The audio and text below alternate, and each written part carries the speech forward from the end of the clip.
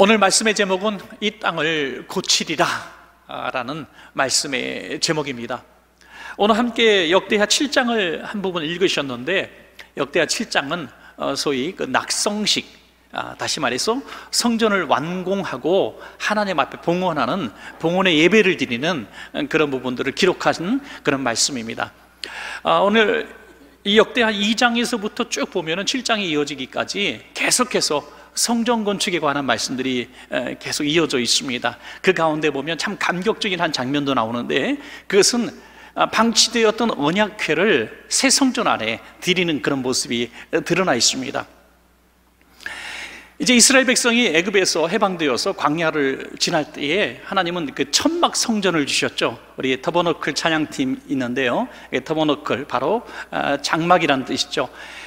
이 이스라엘 백성이 광야를 걸을 때에 텐트로 만든 성전 장막에서 예배를 드렸습니다. 그곳에 이 광야 생활 가운데서 하나님이 신 은혜들을 기록 어, 장식하는 그 언약회를 넣었는데 그 언약회 안에는 여러분 잘 아시는 대로 광야 생활 중에 주신 은혜들을 상징하는 물품들을 넣었죠. 그러니까 십계명 돌판 그리고 만나 항아리 그리고 아, 아론의 쌍난 지팡이 이렇게 세 가지를 넣었습니다. 그곳에서 하나님의 임재를 경험했었습니다. 그런데 그 이후에 가나안에 정착한 다음에 여러분 잘 아시는 대로 정말 엘리제스상 때에 그 예배를 소홀히 여기는 그 자녀들로 인해서 이 법계를 언약계를 빼앗기고 말죠.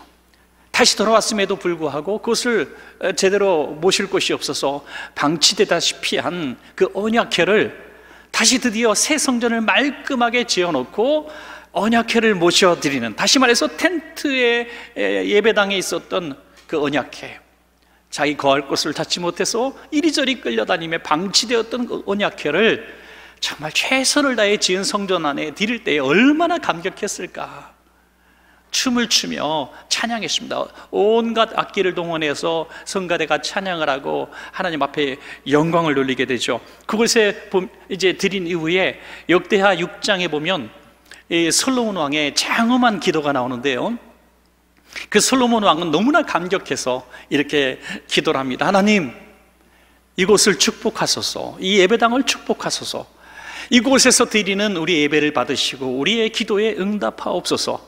혹시라도 우리가 죄를 지어서 우리가 아, 기근이 있고 전염병이 돌고 또 외국이 우리를 침범하는 일이 있어도 우리의 죄를 용서하여 주시고 우리를 구원하여 주시옵소서.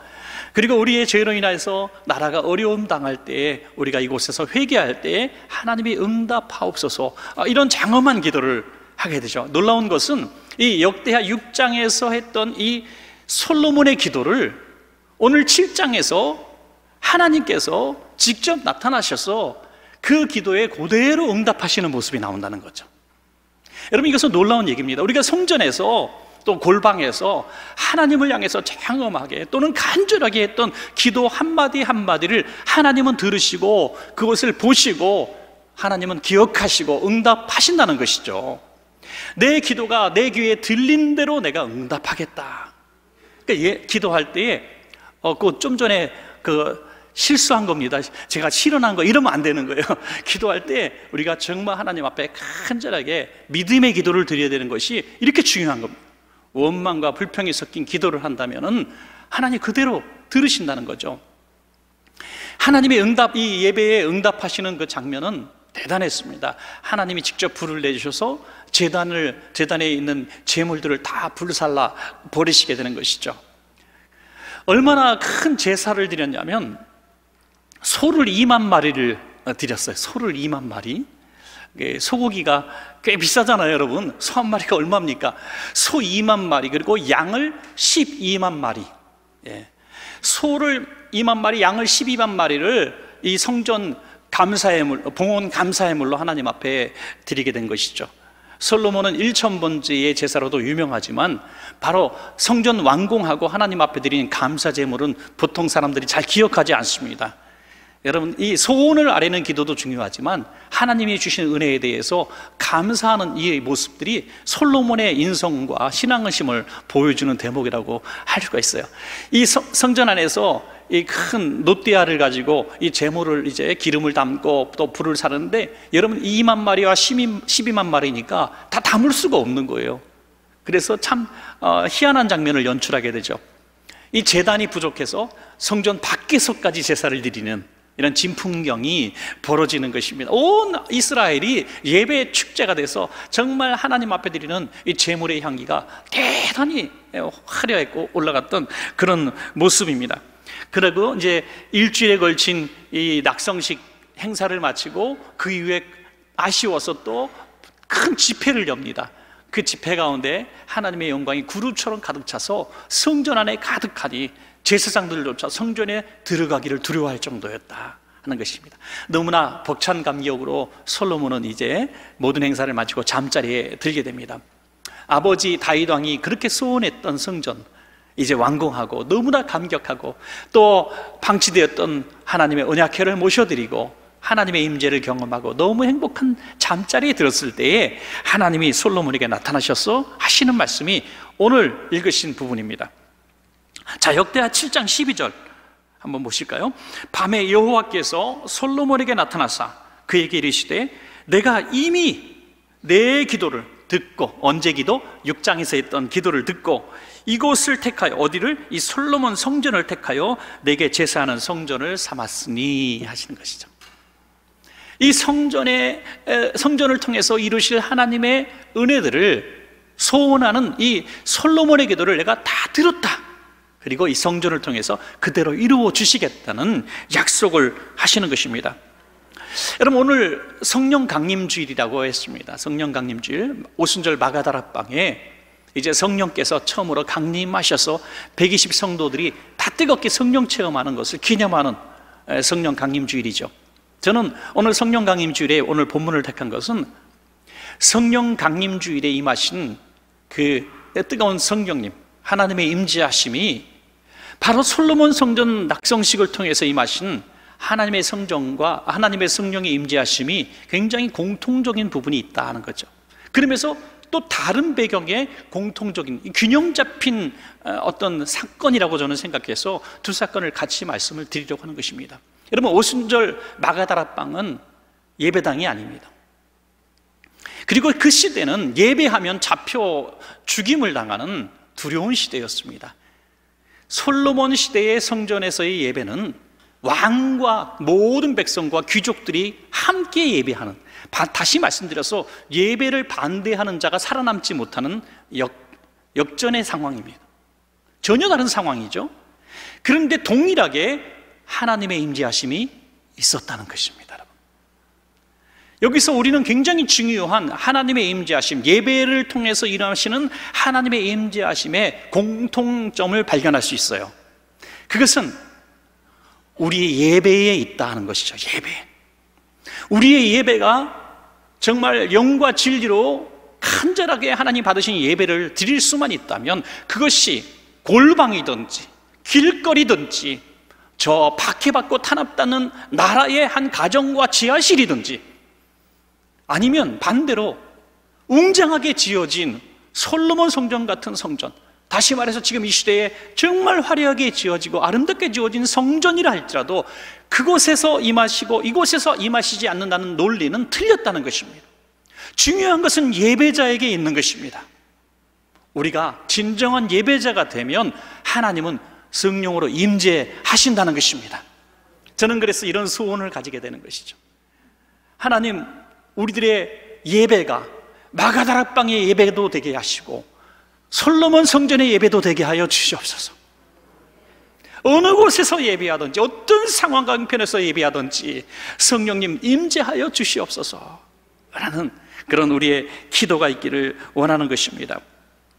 여러분 이 땅을 고쳐 주시는 이 땅을 고쳐 주시겠다는 약속은 정말 오늘 우리 시대에 우리를 굉장히 위로하시는 말씀도 되는 것입니다. 이 땅은 단순하게 농사 지을 수 없는 땅이 농사를 지을 수 있는 땅으로 바꿔주신다는 개념, 그 넘어서는 말씀입니다.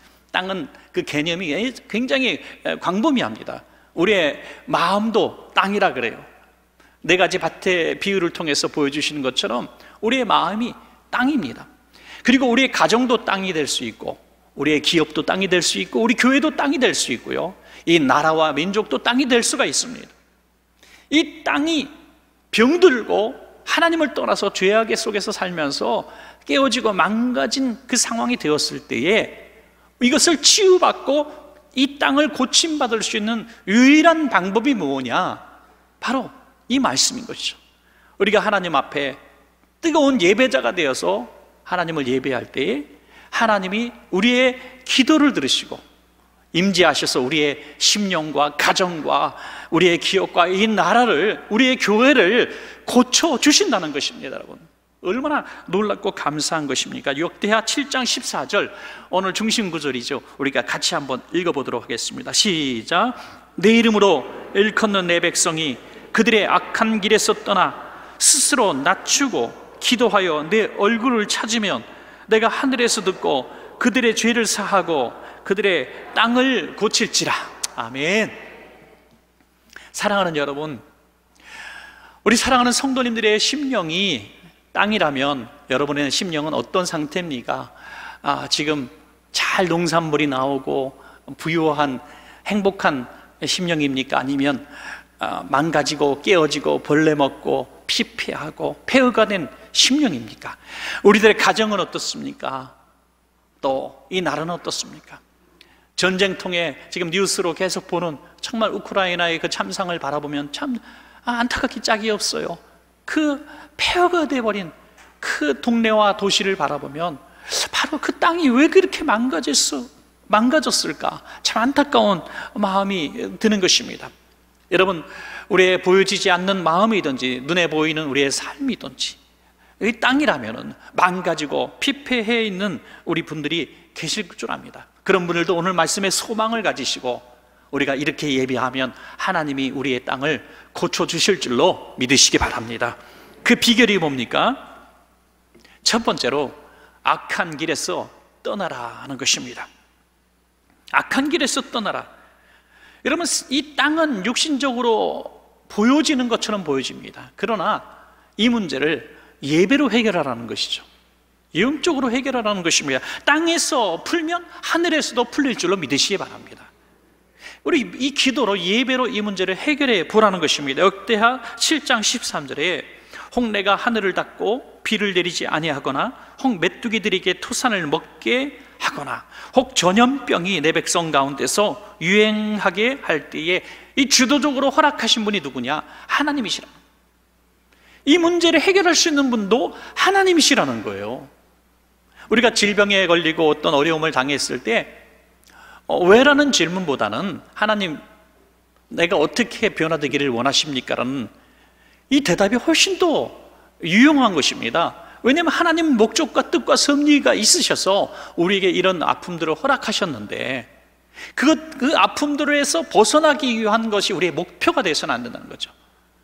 우리가 그 허락하신 하나님의 섭리와 뜻을 이해하고 우리가 삶을 변화시킬 수 있다면 하나님은 그 고통들에서 우리를 당연하게 해방시켜 주시는 것입니다.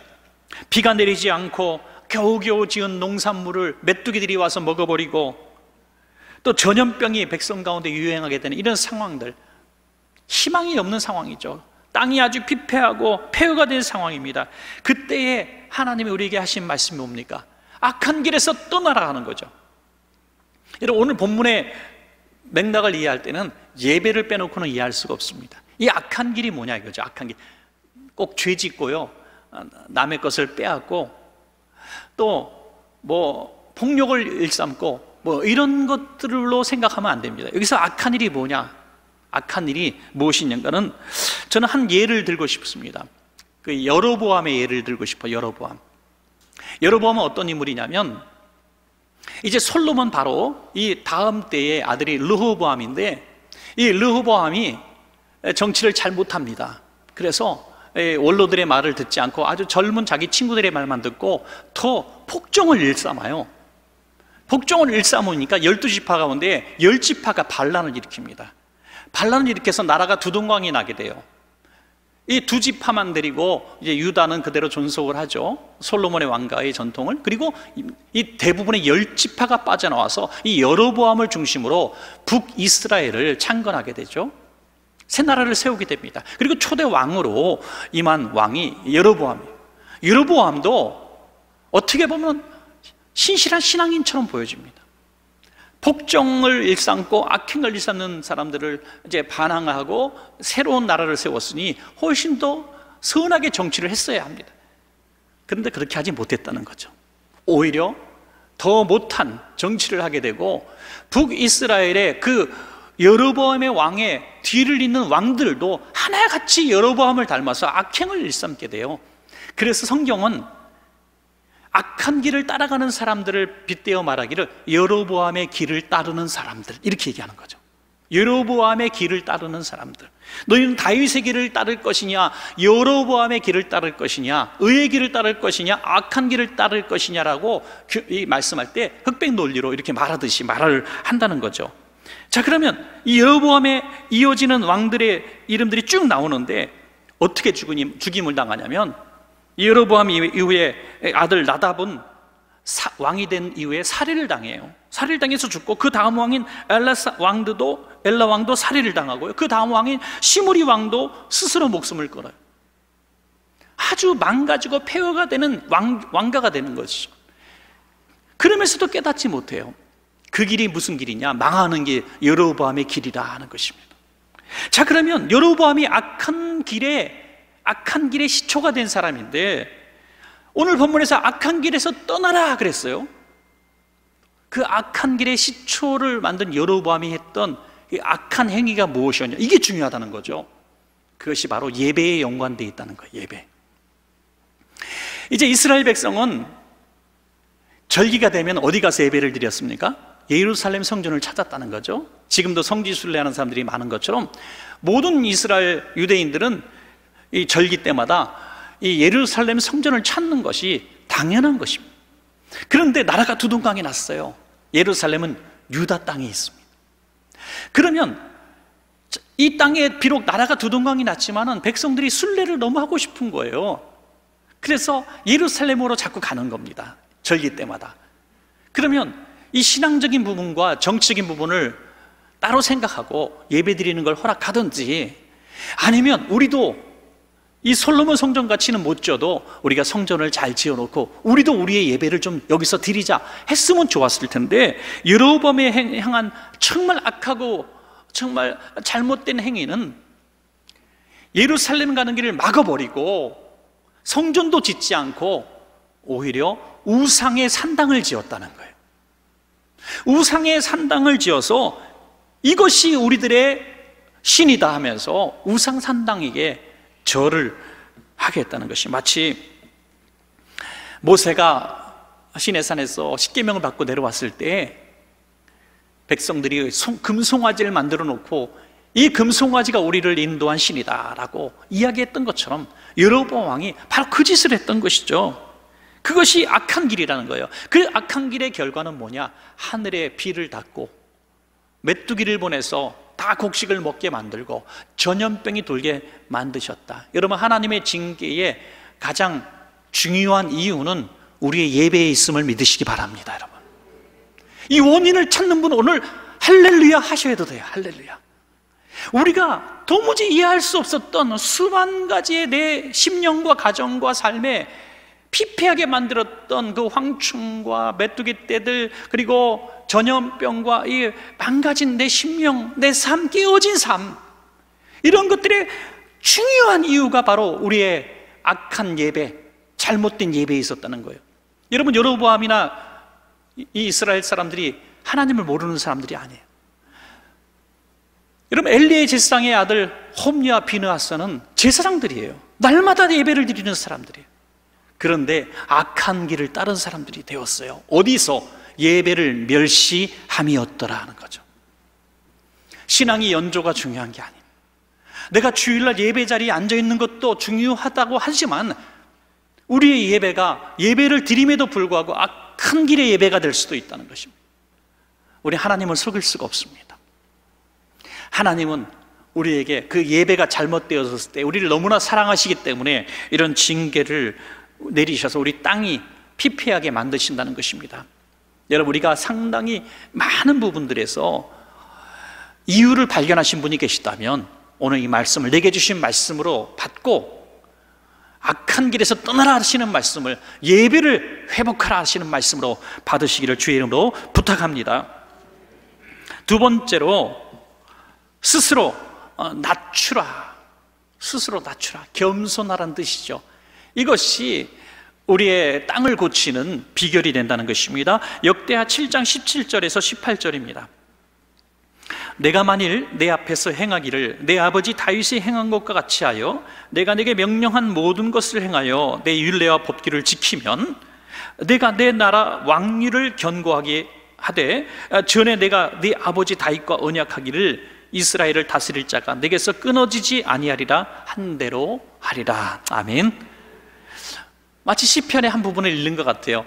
아, 하나님의 말씀을 잘 준행하면 내가 복을 주고 거역하면 벌을 내리겠다. 그런 뜻이죠. 오늘 말씀의 큰 틀을 어디서 보라 그랬어요? 어, 예배 예배를 통해서 보라 그랬죠. 여러분 예배 가운데에 들려지는 하나님의 말씀에 대한 이야기가 될 수 있는 것입니다. 오늘도 어, 하나님의 말씀이 선포되고 있습니다. 부족한 어, 종의 입술을 통해서 하나님의 말씀이 대언되고 있는 것입니다.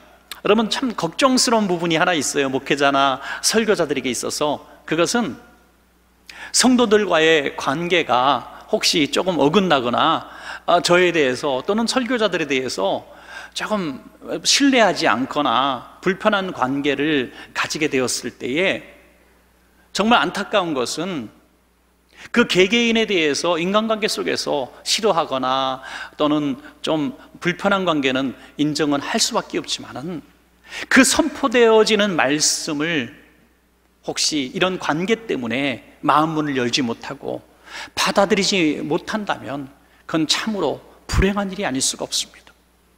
그래서 부탁을 드립니다. 저에 대해서 정말 불편하게 여기는 분들, 또 저를 신뢰하지 못하는 분이 혹시 있을지라도 그것은 제가 받아들이겠습니다. 그러나 선포되어지는 하나님의 말씀은 하나님의 말씀으로 받으시기를 부탁을 드리겠습니다. 왜냐하면 그것이 여러분들의 삶과 영혼에 직결되기 때문이죠. 그것이 우리의 가정을 살리고 우리의 자녀들을 살리고 우리 영혼을 살리는 양약이 되기 때문이죠.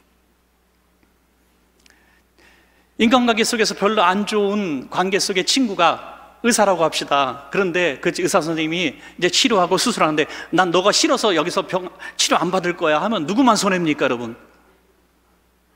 사람은 싫어도 그 의술을 믿어야죠. 할렐루야. 마찬가지입니다. 이 땅에 수많은 목회자들이 있지만은 정말 윤리적으로나 사회 통념상 기준치도 못 되는 목사들도 많이 있어요. 그러나 하나님은 그 연약한 질그릇 같은 자들을 통해서 하나님의 말씀을 담아주신다는 거죠. 그리고 선포되지는 하나님 말씀이 우리 성도들을 살리고 있는 것입니다, 여러분. 그래서 성전에서 드려지는 이 예배, 우리의 예배 가운데 선포되어지는 사람의 말이 아닌 오늘도 제가 성경 말씀에서 벗어나지 않기 위해서 아주 몸부림을 치는 걸 여러분 느끼실 거예요. 중간중간 모든 맥락을 다 성경 구절로 이어가려고 애쓰는 부분을 기억하실 겁니다. 여러분, 이거 하나님의 말씀이거든요. 그러면 하나님의 말씀이 이 구절들이 선포되어질 때마다 내가 이 말씀을 내가 받아들이고 싶지 않는다 할지라도 선포되는 선포하는 그 목회자가 내가 별로 마음에 들지 않는다 할지라도 이 선포 예배 중에 선포되지는 이 하나님의 말씀 그대로를 아멘으로 받아들여야 된다는 것입니다. 이 비결이 뭐냐 이거예요. 스스로 낮추지 않으면 불가능한 것입니다. 여러분 겸손한 사람만이 하나님의 말씀을 아멘으로 받을 수가 있는 것입니다. 겸손하지 않는 사람은요, 목회자의, 목회자 딱 왔을 때 선포되지는 말씀 보면 말투를 보고요. 아유, 저 목사는 이렇게 사투리가 심해요? 사투리 크트집 잡고요. 저 목사는 이렇게 무식해 공부를 안 해서 학력을 문제 삼고요. 외모를 문제 삼고요. 뭐 지방색을 문제 삼고요. 그런다니까요. 얼마나 불행한 일입니까, 여러분? 하나님의 말씀을 하나님의 말씀 그대로 내게 주시는 말씀으로 받을 수 있는 사람은 겸손한 사람입니다. 하나님 말씀에 굴복하는 거지 선포하는 사람에게 굴복하는 게 아닙니다, 여러분. 하나님의 말씀. 저는 전에도 몇 번 말씀을 드렸습니다만은 정말 세계적으로 큰 교회 목사님이신데 자신이 가장 은혜 받은 설교 한 편을 얘기하는데 의원이 들었던 본교회 부목사가 했던 설교를 듣고 자기는 성령 체험을 했다는 고백을 할 때 저는 너무나 감동을 했어. 너무나 감사했어. 여러분 담임 목사라고 꼭 설교에 우위가 있는 게 아닙니다. 우리 부목사님이 또 전도사님이 교육전쌤이 설교할 때에도 하나님이 강력하게 역사하실 수가 있는 것입니다. 우리 구역장님이 설교할 때도 귀신이 떠나가고 병치료가 임할 수가 있는 것입니다, 여러분. 왜? 사람이 아니라 그가 선포하는 말씀이 하나님의 말씀이기 때문에. 하나님의 말씀의 권위를 인정하십시오, 여러분. 그래서 하나님의 말씀을 아멘으로 받으려면 겸손한 심령이 되어야 돼요. 하나님 오늘도 무슨 말씀을 주시겠습니까? 뭐 주보를 딱 보고 오늘 저녁 설교에 어떤 어, 담임 목사가 아니네. 그럼 오늘 안 나가. 이러는 분들 정신을 차려야 돼요, 여러분. 큰일 날 소리입니다. 겸손한 마음이 되면요. 내가 애타는 마음이 되니 누가 설교하는지가 중요하지 않더라고요. 여러분 기억하실 겁니다. 여러분이 어떤 어려움을 당했을 때, 큰 사건을 경험했을 때, 자녀가 큰 고통을 당했을 때, 너무너무 힘들 때, 너무너무 절박할 때, 주보 보고 오늘 누가 설교하냐 찾아보고 오셨어요? 아니에요. 그냥 예배 자리 찾아가서 눈물 콧물 흘리면서 하나님 내 눈물을 보시고 내 신음 소리를 들으시고 날 좀 만나 주세요라고 기도하지 않았습니까? 성전에 왜 그렇게 찾아오셨습니까? 누구 만나기 위해서 온 게 아니라 하나님을 만나기 위해서 오지 않으셨습니까? 하나님의 말씀을 들으려고 오지 않았습니까? 여러분 그래서 예배 시간에 여러분들은 귀를 쫑긋 세우고 하나님을 만나기를 사모하셔야 됩니다, 여러분. 뭐든지 장소는 목적이 있다 그랬어요. 음식점은 다른 거 필요 없어요. 인테리어, 뭐 의자, 뭐 위치 별로 중요하지 않아요. 맛있으니까 장땡이, 아, 저 전문 용어 나왔네 또 이거. 하여튼 맛있으니까 다 가더라 이거예요. 맛있으니까. 뭐 머리 잘 만, 만지는 미용실이 있으면 뭐 인테리어 뭐 그거 중요합니까? 가격이 중요합니까? 가잖아요. 왜 비싼 돈 주고 명품을 삽니까? 여러분 거기에 대한 뭔가 바램이과 기대치가 있기 때문 아니겠어요? 예배에 왜 예배하십니까? 왜 교회 오셨습니까? 왜 우리가 이렇게 아름다운 성전을 짓느라고 이렇게 피땀을 흘리셨습니까? 하나님의 약속이 있기 때문이죠. 내가 이곳에서 하는 기도를 내가 듣고 이곳에 온 성도들을 내가 보겠다. 할렐루야. 하나님이 약속하셨기 때문에 우리 예배 장소에 오늘 예배 시간에 여러분 오시지 않았습니까? 그러므로 겸손한 마음으로 오늘 말씀을 받아들이십시오. 시편 51편 17절에 하나님이 구하시는 제사는 상한 심령이라 하나님이여 상하고 통해하는 마음을 주께서 멸시하지 아니하시리이다. 아멘. 오늘 상한 마음으로 예배하시길 바랍니다. 상한 마음으로 통해하는 마음으로 하나님 내 마음이 깨어졌습니다. 내 삶이 깨어졌습니다. 저는 희망이 없습니다. 저는 실패자입니다. 이런 마음으로 이 성전에서 이 성전 예배당에 눈물 몇 방울 떨어뜨릴 때에 오늘 그 솔로몬에게 하셨던 그 약속의 말씀이 그대로 임하는 거예요. 내가 이곳에서 하는 내 기도를 들으리라. 들으리라. 상한 마음의 심령의 예배자는 요한복음 4장에 보면 사마리아 여인이 나오죠. 다섯 번이나 결혼에 실패하고 손가락질 당하는 불쌍한 여인입니다. 그는 예배의 장소의 개념에 너무 심취되어 있었던 것 같아요. 바로 조금 전에 드린 말씀처럼 예루살렘 성전에 갈 수 없는 이방인이었기 때문에 그는 그리심산에다가 자그마한 성전을 만들어 놓고 그곳에 자기들끼리 예배했습니다. 그러나 이 여인은 거기조차 갈 수가 없어요. 왜냐하면 동네에서 완전히 손가락질 당한 버림받은 여인이었기 때문입니다. 예수님을 만나자 묻습니다. 예. 내가 어디서 예배해야 하나님을 만날 수 있느냐 이거죠. 어디서 예배해야 하나님이 받으시겠느냐 이거예요. 그때 저는 오늘 균형 잡힌 말씀을 드리기를 원하는데요. 솔로몬 성전이 위대하고 값비싸게 지어졌기 때문에 하나님이 임하신 것이 아니라는 것을 말씀을 드리고 싶어서 이 바가다락방 예비도 같이 드리는 겁니다. 오해하지 않도록요. 예수님께서 그 여인에게 하신 말씀이 뭐예요? 바로 마가다락방에서도 주님 만날 수 있다는 얘기를 한 겁니다. 요한복음 4장 23절에 아버지께 참되게 예배하는 자들은 영과 진리로 예배할 때가 오나니 곧 이때라 아버지께서는 자기에게 이렇게 예배하는 자들을 찾으시느니라 그리심산도 아니고 예루살렘 성전도 아니라는 거예요 하나님을 예배하는 그 자들을 하나님이 찾아오신다는 겁니다 여러분 어떤 예배자요? 상한 심령의 예배자 스스로 낮추는 예배자 겸손한 예배자입니다 사랑하는 여러분, 혹시 나는 왜 예배 때마다 은혜를 못 받지? 나는 왜 예배를 드리고도 이렇게 신앙의 감동이 없지? 내가 10년, 20년 신앙생활 했는데 내 삶의 땅은 내 마음밭이 이렇게 피폐하고 황폐하고 공허하지? 하시는 분들이 있다면 두 번째 기억하십시오.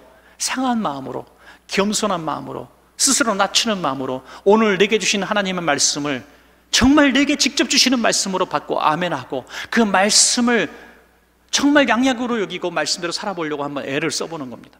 그럴 때 우리도 깨닫지 못하는 상황 가운데 우리의 땅이, 삶의 땅이 다 회복될 줄로 믿습니다, 여러분. 자, 마지막 세 번째로 성전에서 하나님의 얼굴을 찾으라.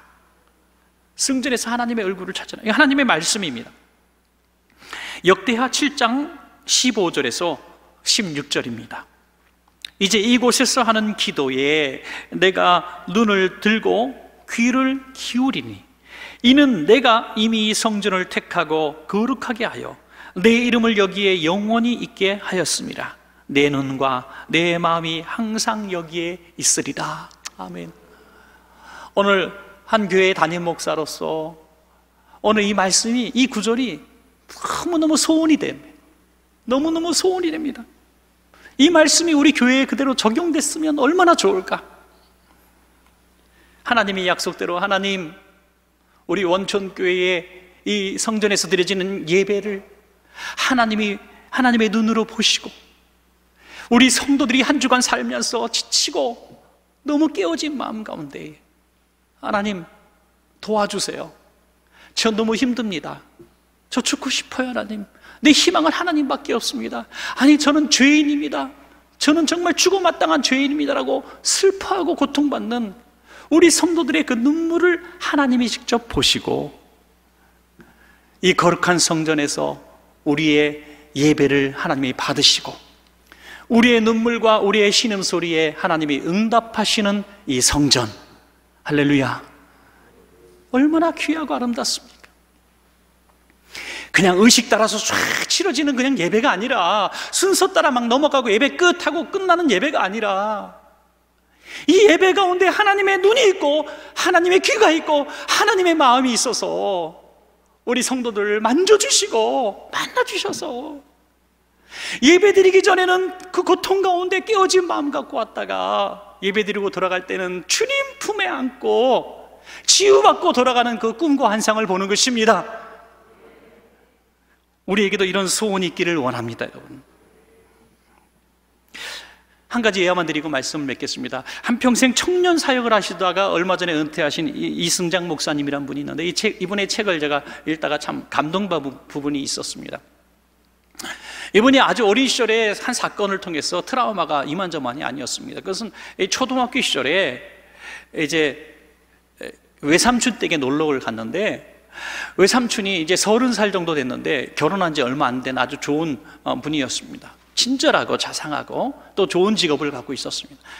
그래서 이, 이 동, 아이를 너무너무 이승장 목사님 어린이를, 어린이를 너무 사랑했어요. 그래서 낚시를 데려간 거예요.